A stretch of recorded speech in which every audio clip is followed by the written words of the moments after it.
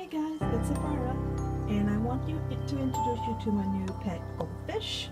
Over here, the Calico Ryukin. This is Prince, the little Prince, a Princey Blue.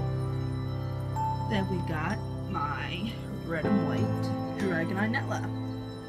She's the youngest. Uh, both of them. I gotta fix that plant again. Yep, so these are my two new goldfish and I'm looking for the right kind of algae eater to put with them.